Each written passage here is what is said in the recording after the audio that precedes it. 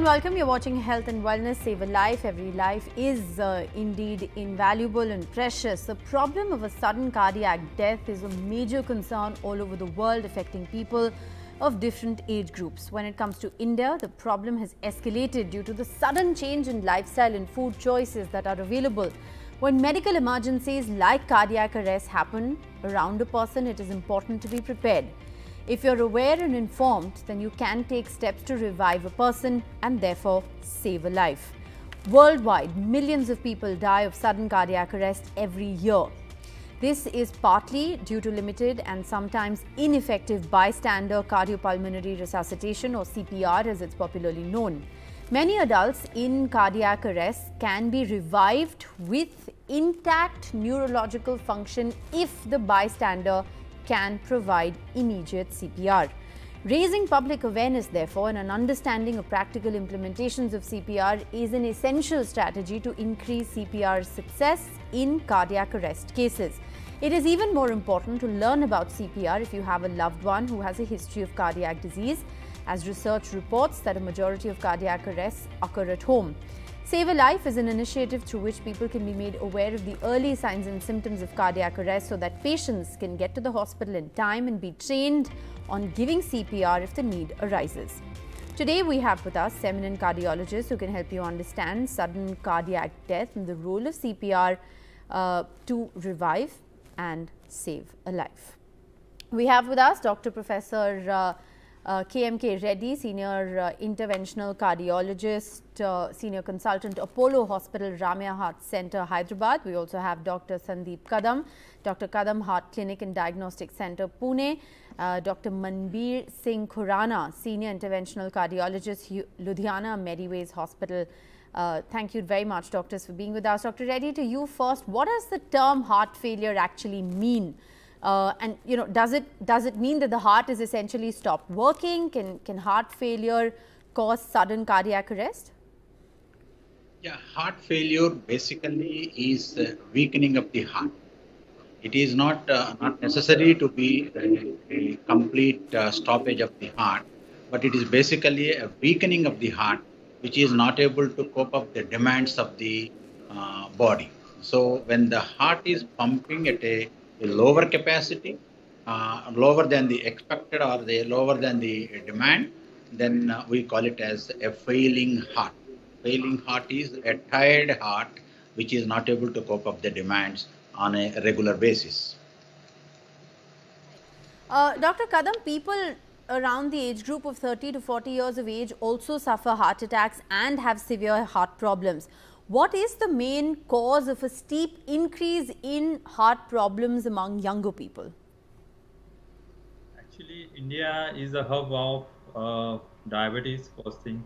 So diabetes is major risk factor for the heart disease.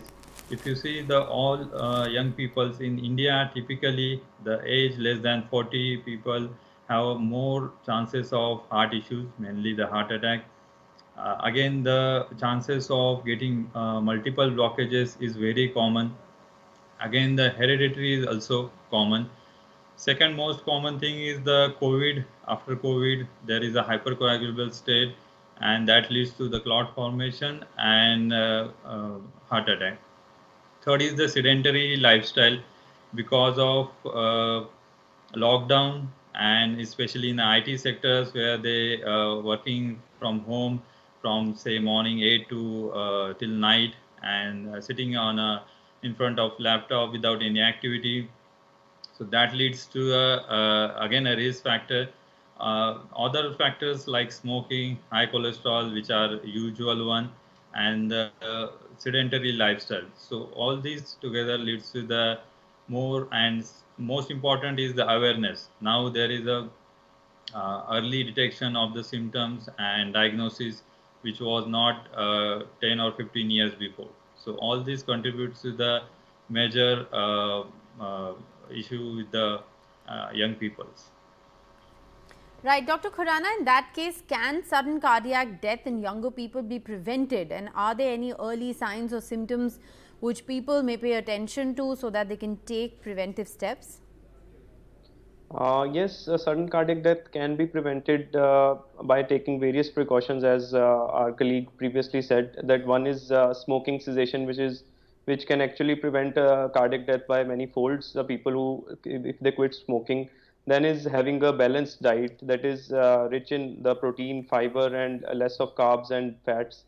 And then going for a regular checkup is very important because many things are diagnosed after a routine checkup and uh, the most important thing is if we are planning, if a youngster is planning for a very extreme activity, like he's planning to go for a gym and going uh, for a very strenuous sports activity, he should get himself checked before uh, before his physician that he get his simple basic tests.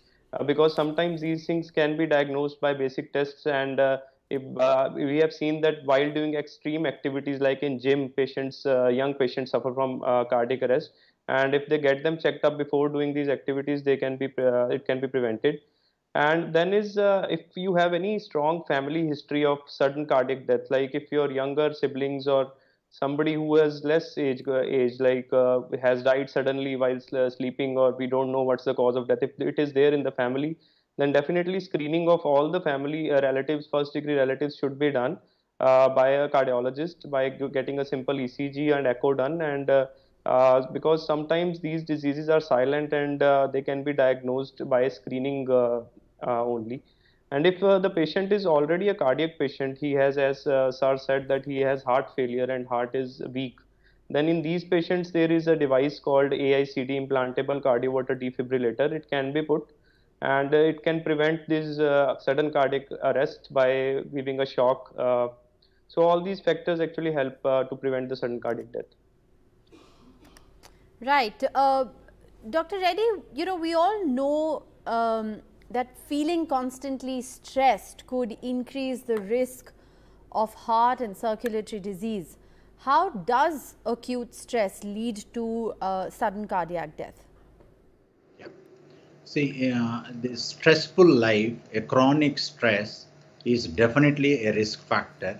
It is proven in a good number of uh, large studies also so uh, stress basically uh, increases the catecholamine surge and uh, it definitely causes uh, uh, some uh, sympathetic overactivity in the body and which in turn causes many, many cardiovascular changes in the body.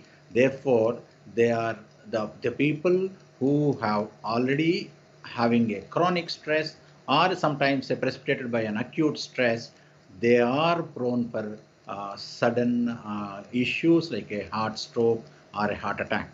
So basically, this is happening because uh, the overactivity in the sympathetic system that is uh, causing a heart rate uh, high and the high heart rates are not good for a longer duration. Uh, definitely it has a negative cardiovascular issues that are likely to happen. Therefore, the, uh, the important thing is uh, for a, a, country like in India, more so in a younger population, that is the youth of the India, should be a divide of a stress if possible or a stress management has to be done in a proper scientific uh, platform and everybody uh, I suggest the, uh, the stress management or avoiding a stress is the important thing because it is catastrophic to the heart. Right. Uh, Dr. Kadam, what's the first thing you should do when you see someone go into cardiac arrest? Uh, first thing you need to call for the help. Start uh, CPR. Uh, the chest compression, it should be at the rate of 100 uh, per minute and it should be two and a half inches, what we call as a high quality CPR. And you should give a breath after every 30 compressions. And uh, most important uh, is allow the recoil of the chest. So you should uh, take a, a, proper high quality uh, cpr training uh, and that uh, that should be continued till the other teams or medical help receive the most important thing this cpr training should be done from the school level I think we should include it from standard 8 or standard 9, which is a uh, good options to educate the people and that will uh, prevent lots of life and lots of death. All right, uh, very important points there. Dr. Khurana, what are some of the important points to remember while performing hands-only uh, CPR? Uh, yes, there are two very important points. First is we should make sure that the scene is safe. Uh, where we are performing the CPR, there is no uh, major risk to the uh, person who is giving the CPR as well as the patient because sometimes there is uh, glass or sometimes it's the place of accident. So sometimes you can cause harm. Uh, so you should bring the person to a safe site. And then is we should see whether actually the patient is breathing. The normal rhythmic breathing should be there, and uh, we should check for the responsiveness of the patient. Sometimes the patient is just lying unconscious we should tap the shoulders and check whether the and ask whether you uh, the patient is responding or not and after that we should call for an assistance and then immediately start with the hands on only cpr for the hands only cpr uh, we should uh, kneel beside the person who needs help we should be kneeling on our uh, and and our heel of our hand should be kept at the center of the chest and above uh, that our another hand should be kept and the fingers should be interlaced uh, this point should be kept at the center of the chest and uh, the compression should be started as Dr. Kadam said, it should be done properly and we should allow a proper recoil that is two and a half inches deep and around 100 times in a minute. So uh, we should continue it till the help arrives and um, it's very important to start it as early as possible. Yeah. All right, important points being made there. Uh, we're going to slip into a very short break, but our panel of experts will be live with us on the other side. Stay tuned.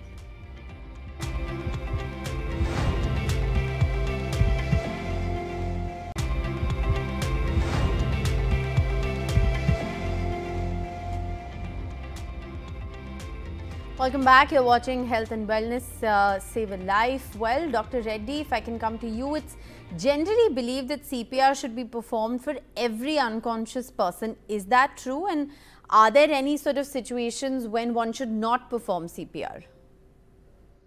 Yeah. See, uh, as our uh, Dr. Uh, Singh has told, uh, basically any unresponsive patient, if he is found to be a breathing, or we can check by just putting the finger under the uh, nose and we can check whether somebody is breathing or not. Somebody is found to be unresponsive, like a collapse in front of our eyes, or somebody is just like that as a stranger. When we find somebody very unresponsive, we have to start uh, CPR until otherwise somebody is declared or found to be clearly dead. In the sense, there is no breathing uh, for an individual uh, probably if somebody has seen him or observed him for a uh, like more than three minutes, uh, not at all breathing, uh, in that scenario, the doing a CPR is going to be an in vain thing. But if we are suspicious of uh, whether the duration of the cessation of the respiration or the heart, for a benefit of doubt always to the individual, we have to be very, very liberal in giving a CPR because CPR is a life-saving one.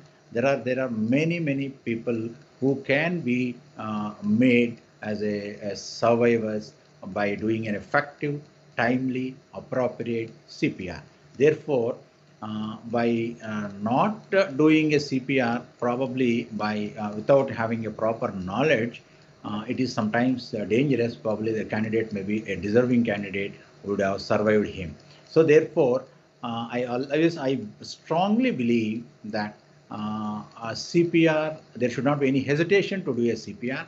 But if somebody is already dead, uh, very clearly uh, there is no breathing, stoppage of there is no pulse, absolutely no even the carotid pulse is not there. It's completely dead. At least for our observation, like five minutes or four minutes we have seen. There is no point in doing a CPR for such an individual. But important point I want to uh, tell is um, probably uh, better to have a positive attitude to do a good CPR uh, uh, so that I think we can make uh, a life better and we can save many lives for our uh, fellow colleagues. Right. Uh, Dr. Kadam, are there any precautions people with heart diseases should take to prevent having an episode of a sudden cardiac arrest? the most important is that they should be regular with their medicines. If a patient who uh, undergone for any heart surgery or angioplasty or any other surgery, he should take the blood thinners according to the um, uh, cardiologist's opinion and they should not be stopped on its own. Many times what happens, these people stop the medicines, blood thinners, and that leads to the uh, catastrophe, and then uh, things uh, get worse. So this is most important thing. Second is uh, regular health checkup. Regular health checkup. Uh, there are some parameters that should be uh, taken into the consideration, like ECG, two-dimensional echocardiography, and stress test, and some blood tests like cholesterol test, uh, some cardiac risk marker tests uh, that should be uh, regularly checked up. So all these things prevent the second episodes. And first and most important thing, do not uh, diagnose this on your own. Many patients lost their life just because they diagnosed um, uh, this chest pain could be because of acidity. I, I came across at least 100 uh, person who diagnosed themselves that it's acidity. They uh, came to emergency and they found to have a heart attack. So uh, heart attack pain is a classical pain. It's a red flag. You never experience in your life. First time in the life. It's a kind of severe pain. Uh, it's uh, it can be there uh, uh from jaw to the uh, upper abdomen in the right shoulder or left shoulder on the front side or back so it's not that it's a left hand pain or uh, left sided chest pain is a heart attack pain heart attack pain can be anywhere in this area second thing is uneasiness third is the sweating episode all these together uh, need a emergency or urgent uh, medical health uh, medical checkup so be regular on the medicines, health checkups, and uh, follow the instruction of your cardiologist. That will prevent the further events. Right. Uh, Dr. Khurana, the lack of CPR awareness is a big health challenge in India. Please tell our viewers why it's essential for people to learn CPR. Uh, so actually a lot of data is there and a lot of studies have shown that most of the cardiac arrests occur out of the hospital and uh, in India only more than 7 lakh patients every year die of cardiac arrest and uh, it is the initial few minutes of this cardiac arrest where the there is some time there is some time when we artificially pumps the heart by this CPR it gives uh, blood to our vital organs like brain kidneys and uh, liver and lungs. So basically we are perfusing these organs artificially by performing a CPR and if we do that in initial three four uh, two three minutes and as early as possible we can definitely make a lot of difference. Uh, uh, rather we can save almost half of these lives if the cpr is done on time and properly that is a high quality cpr uh, but unfortunately in our country the awareness is uh, very less for this cpr people do, don't even know uh, what's the what's the full form of cpr it's cardiopulmonary resuscitation uh, the problem is it is not uh, being taught in the schools uh, as Dr. Kadam said, it should be inculcated in a regular curriculum. Uh, every child should know from the beginning how to perform CPR. And if uh, there is some uh, patient in your family who has a heart disease, you should be aware of performing a CPR. It is a very simple process, and a lot of videos are present on the YouTube. There is a video by American Heart Association. There is a lot of uh, material on internet where you can easily learn how to perform this CPR and uh, we can actually make a lot of difference uh, by doing a, giving a high quality CPR at a uh, time when it's actually required. Right. Uh, Dr. Reddy, what are the treatment options available for sudden cardiac arrest? Yeah. Sudden cardiac arrest basically is secondary to many, many diseases See, second, uh, sudden cardiac arrest is not a, a disease, it is an event. Uh, it, it is happening most of the times is uh, secondary to heart attack, but not necessary to be only heart attack. Heart attack is one of the reasons or without heart attack people can have sudden cardiac arrest because of various problems. So treatment option is basically determined by the cause of the uh, sudden cardiac arrest. So once an individual is found to have some disease and probably a potential candidate for the uh, sudden cardiac arrest, those uh, cause should be treated like there is a, uh, a valve stenosis, like an aortic valve.